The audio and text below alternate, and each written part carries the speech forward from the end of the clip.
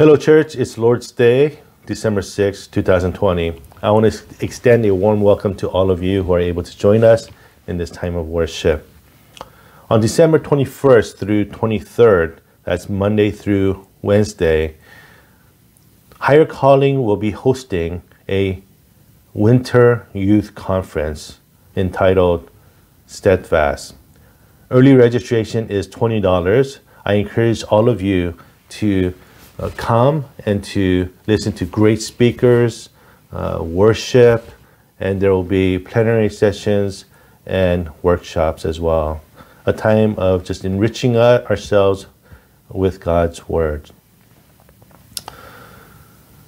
I know online worship can feel very remote and impersonal. Everything worship should not be. When faced with the challenges of our world, it is more urgent for us today to come to God with our eyes focused on Him uh, and set on Him by faith. Hebrews 11:1 says, "Now faith is the assurance of things hoped for and certain of the things unseen." Our world experience tells us worship is disconnected and distant. Our eyes of faith tells us we are united with God. We are united with all of God's people, past, present, and future, with all of the heavenly hosts. We are gathered before God in worship, worship of our one and only true God. That is the God that is the gift that God bestows upon us through his son. And that is the gift that God now calls us to worship. Hear now his call. Therefore, let us be grateful for receiving a kingdom that cannot be shaken. And let us offer to God acceptable worship with reverence and awe, for our God is a consuming fire. Amen.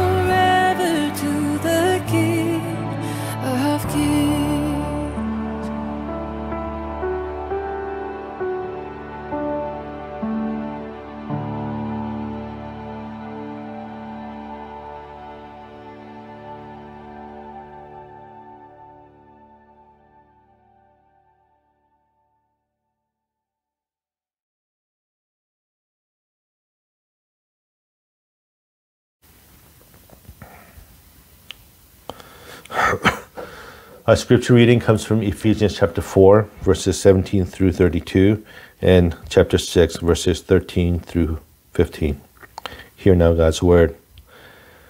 Now, this I say and testify in the Lord that you must no longer walk as the Gentiles do, in the futility of their minds.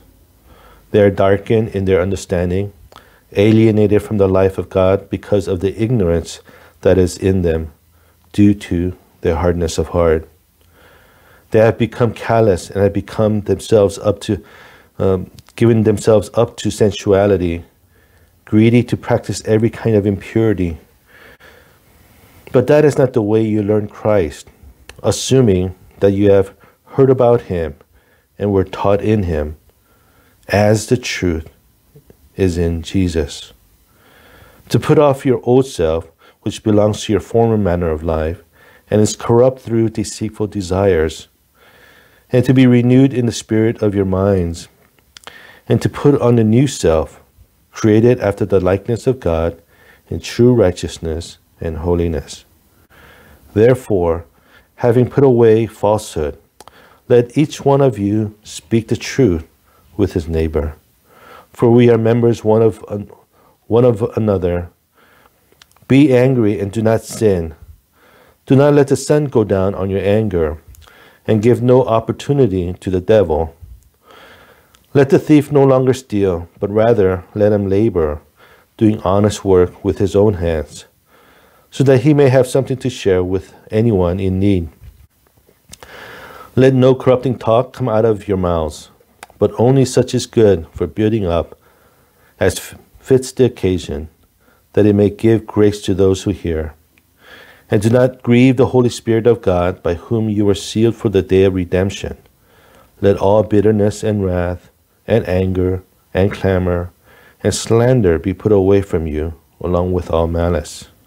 Be kind to one another, tender hearted, forgiving one another as God in Christ forgave you. Therefore, take up the whole armor of God, that you may be able to withstand the evil day, and, and having done all, to stand firm. Stand therefore, having fastened on the belt of truth. Amen. God's holy word. Let us go to God in prayer. Blessed Heavenly Father, we give you praise for who you are and what you have done for us in sending your Son into darkness and rescuing us by the light of the gospel. We live each day so oblivious to the cosmic spiritual warfare being waged in our lives. We are overcome in our thoughts by worries about health, livelihood, and future. We long for things outside of your good purpose to experience pain, grief, and sorrow. Grant us your mercy and grace as we meditate upon your words this morning, that the truth of the gospel may be apparent, that it may be received with gladness and faith, that it may transform and strengthen us to live in the fullness of love, joy, peace, patience, kindness, goodness, gentleness, faithfulness, and self control. Jesus' name we pray. Amen.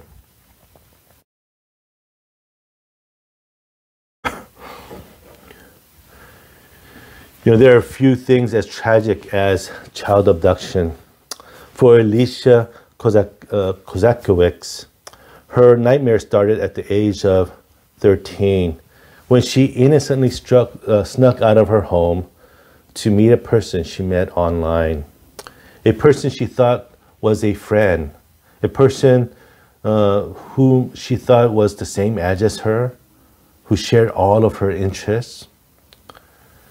Deceived and abducted by a child predator, Alicia was chained, starved, and endured four days of brutal nightmare.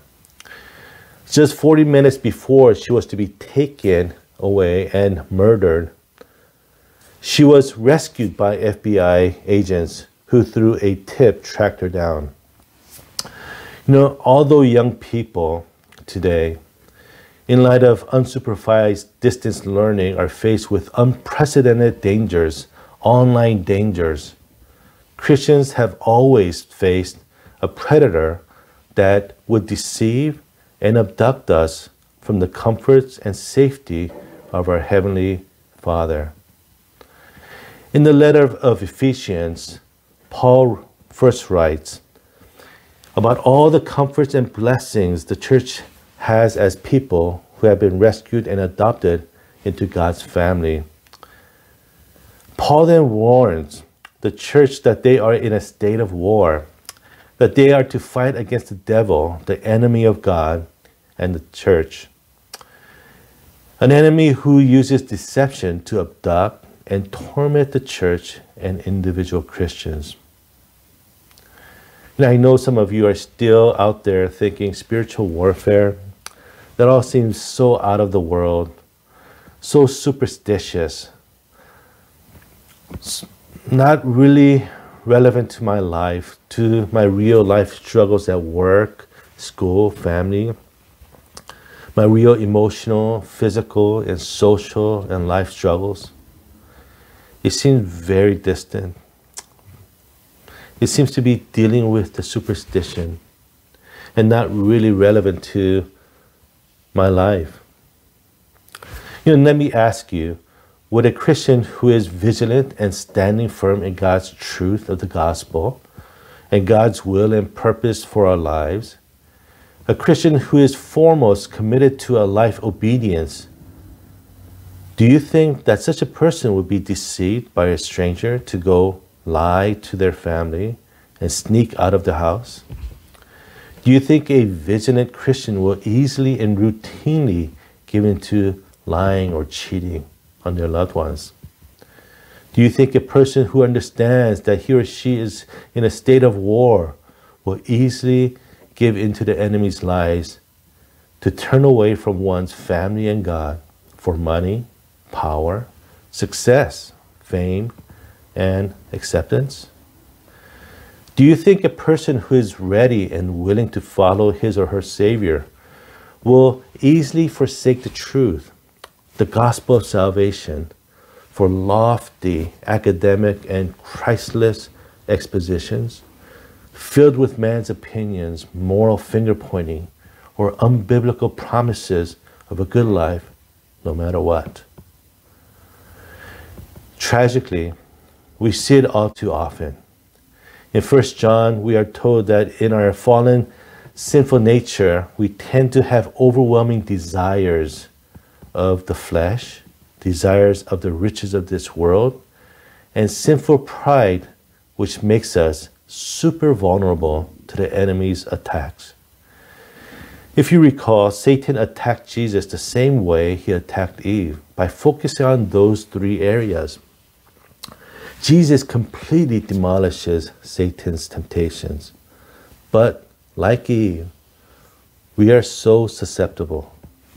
We are super vulnerable to the enemy's attacks. That is why Paul uses the strongest language to tell the church that we are in a state of war and that we must stand against the enemy by putting on the full armor of God, to be ready and willing to distrust to trust and obey our Savior.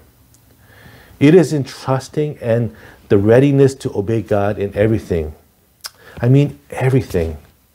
Nothing is kept from God. It is in trusting and, uh, and the readiness to obey our Savior that we, are re- that we are to put on the full armor of God to fight against the enemy. If we are not trusting or ready to obey God in all things, we cannot say we have put on the full armor of God and that we are ready to stand against our enemy.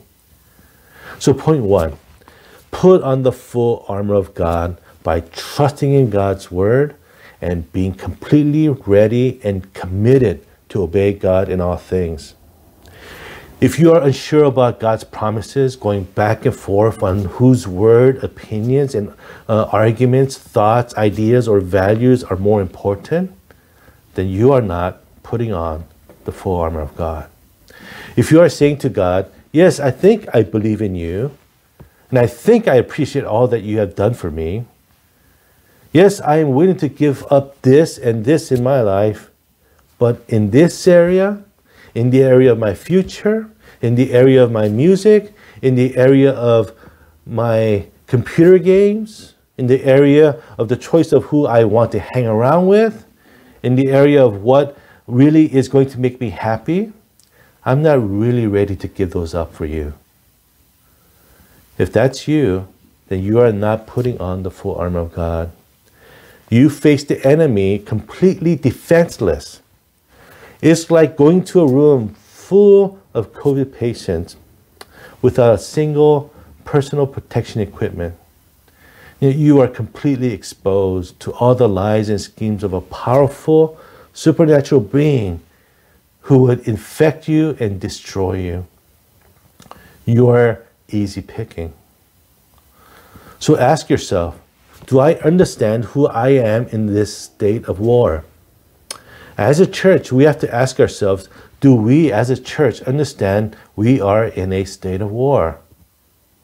And as a church, we are, uh, and as a church, are we completely ready and willing to trust and obey our Lord and Savior in all things without any compromise or exceptions? Once we have this readiness to fight against the enemy and the willingness to take on the full armor of God, we are told we are to fasten, to gird on the belt of truth. Basically, we are told to first fill our lives with truth. You know, I know that truth can be one of those topics that you can spend a lifetime trying to define and decipher its meaning. In fact, Pontius Pilate, at his peak, responded to Jesus by asking, What is truth? So, what is this truth that we, the Church of Christ, and as we, in, as individual Christians, should fill our lives with? The truth we are to fill our lives with is simple it's one, the gospel, and two, holiness. In order to uh, stand against the enemy, we are to take up on the full armor of God by filling our lives with the gospel of salvation. Paul reminds the church that they were made a new creation by the truth that is in the gospel of Jesus.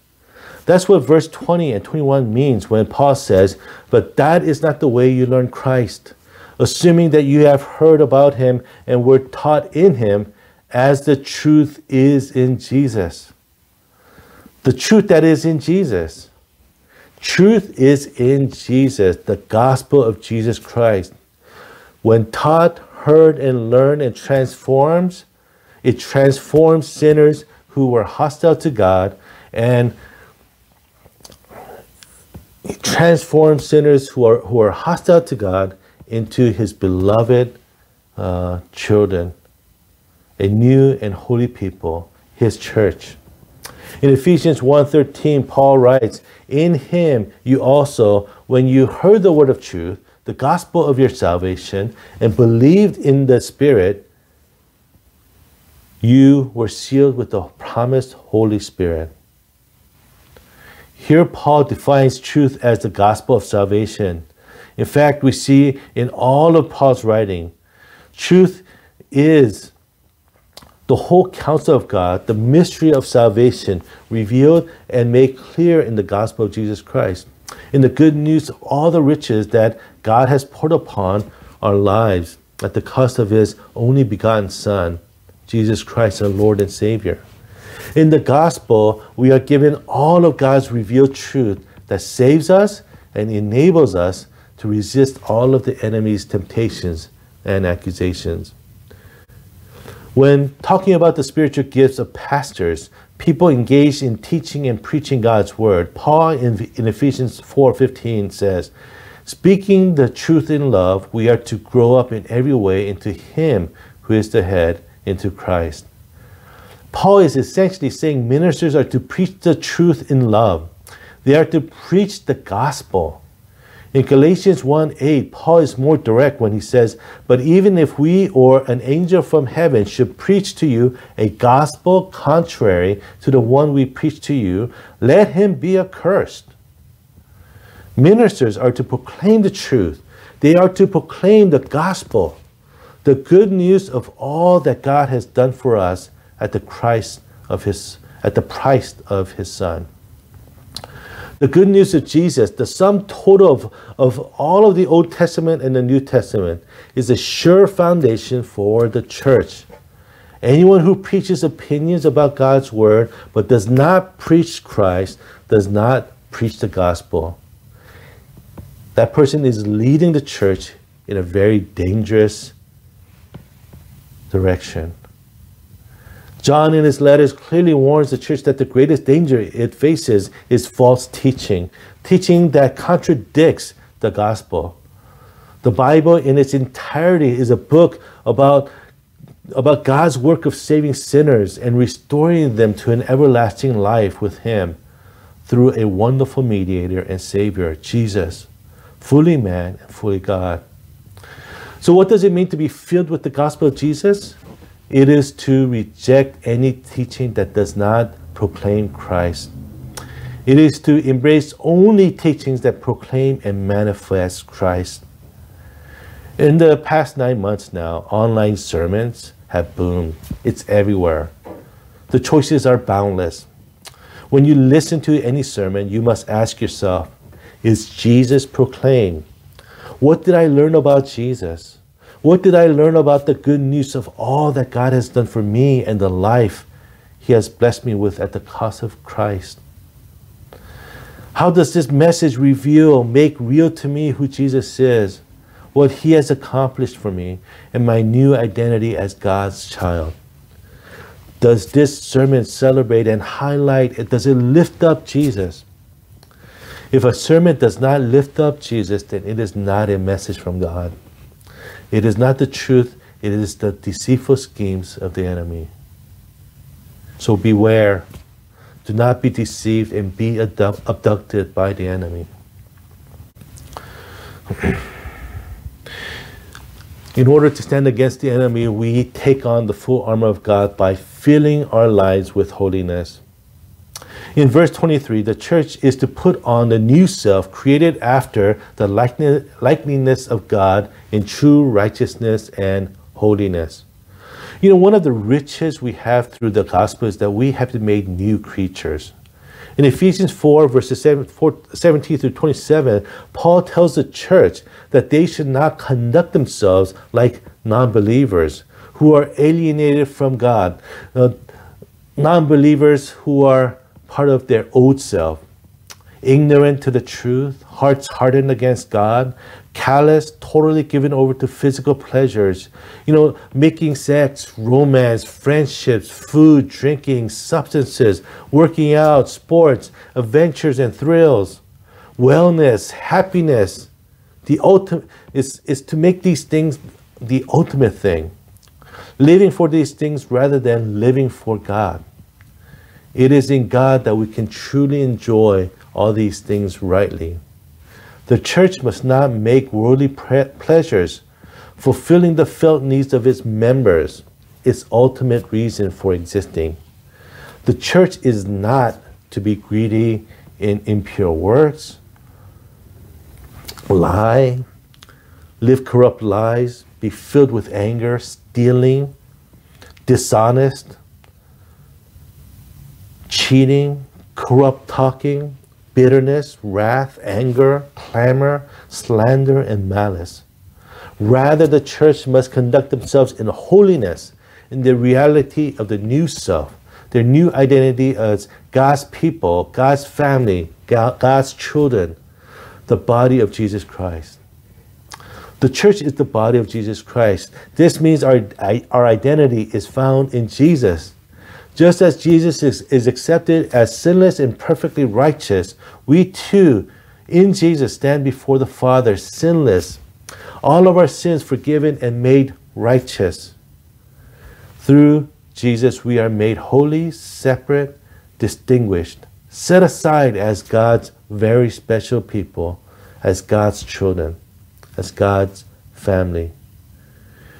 As such, Paul writes the church is to speak the truth with his neighbor, having loving concerns for fellow brothers and sisters, be engaged in honest work, be engaged in talk that is good for building up and give grace to those who hear, to be kind, tender-hearted, and forgiving one another, and have righteous passions.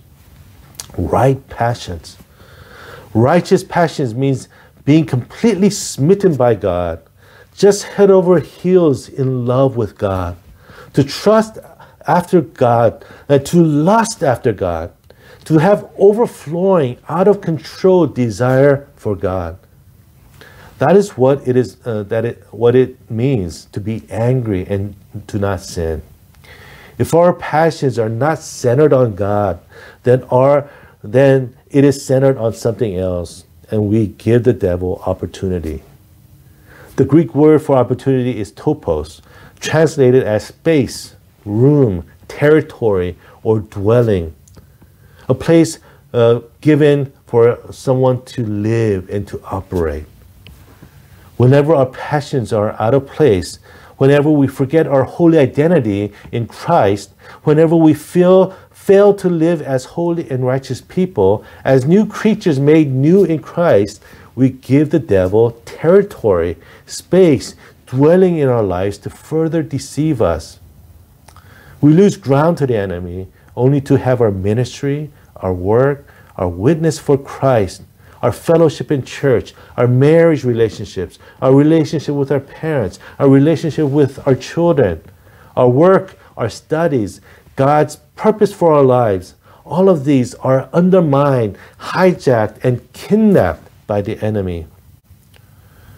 One of the powerful reasons people are filled with disappointment and bitterness, anger, and malice against the church is that they have been hurt by other Christians. They see other Christians and prominent leaders fall in sin, live double standard lives, living as holy people only in word, but in their conduct are wretched sinners, liars, and cheats.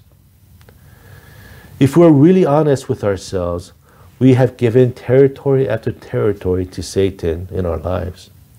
Our witness for Christ is so marred, so handicapped by our hypocrisy. Is there any hope? We are told yes. Our only hope is to gird ourselves with the belt of truth, the truth of the gospel, the truth of our true identity in Christ. Yes, we are sinners, but only in, in church can sinners find forgiveness and healing through the gospel of Jesus Christ. Church is a place where sinners can encounter Christ through the gospel, enabling us to experience God's overwhelming love and forgiveness. Only in Christ can we find forgiveness for our constant, repetitive sins that grieve us so.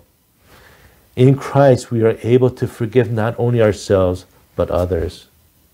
We can have healing in our lives. We can humbly confess our sins, ask for forgiveness, and receive healing and restoration we so desperately need. And as we repent and experience God's forgiveness in Jesus, Satan's hold and accusation against us weakens. The church becomes a place where we can freely admit one's sin only to highlight and celebrate the love and mercy of God in Christ Jesus. Church is a place where sinners who are in a desperate need of a wonderful and gracious Savior find healing, comfort, reassurance, and desire, the fuel to live more and more, little by little, a life of holiness, a life of honesty, tenderness, restored relationships, a life where we become more and more smitten by God's love. Let us go to God in prayer. Heavenly Father, we thank you for saving us through your Son. We thank you for all the riches you have poured into our lives, making us holy at the cost of sending us your Son to die on our place. We confess that we have neglected to strive against the enemy. We confess that we have neglected your truth, that we have neglected the good news of salvation, and that we have neglected to live holy lives. Awaken us from our slumber, we pray. Awaken us from our idleness and our complacent faithfulness, faithlessness, and denial of you. Lead us to repentance, that we may be freed from the enemy's hold over our lives, that we may freely and joyfully proclaim Christ to others in word and deed. In Jesus' name we pray. Amen.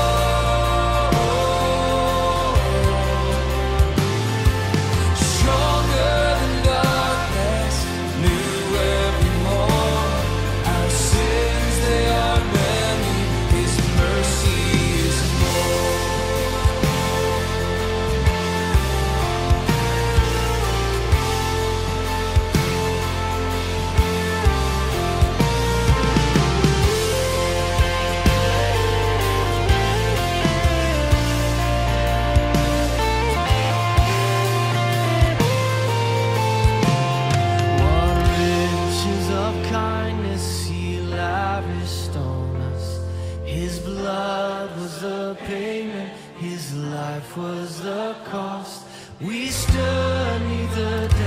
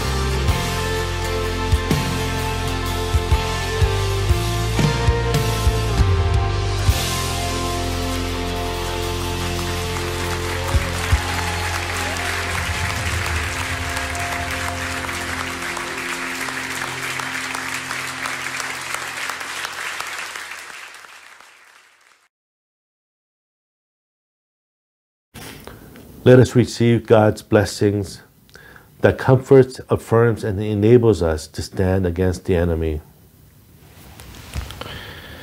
The Lord bless you and keep you. The Lord make his face shine upon you and be gracious to you. The Lord lift up his countenance upon you and give you peace. Amen.